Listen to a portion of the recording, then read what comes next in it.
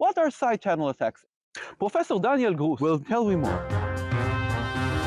There is cache inside my computer. There is a cache stored data.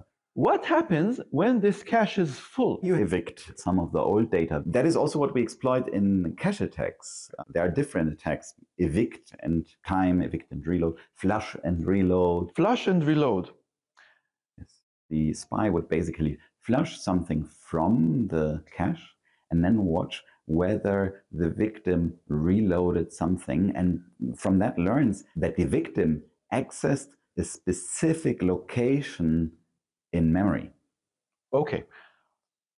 My suggestion is that every time you flush, you should shout, spies beware. You mentioned prime and probe, Yeah.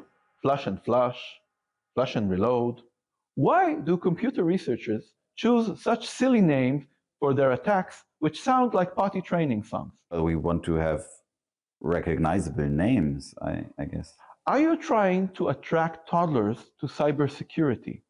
Do you think that toddlers are a better fit for microarchitectural study because they are so small?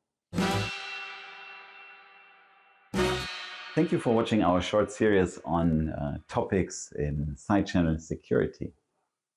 Literally, who are you talking to? There's nobody there. If you want to learn more, you can also watch our show, Side Channel Security. It's right here on YouTube. You will find it linked below. There is nothing below. There is literally just a floor here. The link is right below.